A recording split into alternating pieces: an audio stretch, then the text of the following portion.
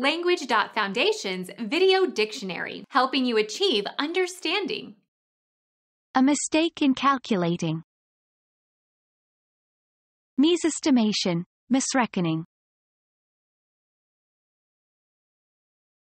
Become our student and get access to effective and free educational materials.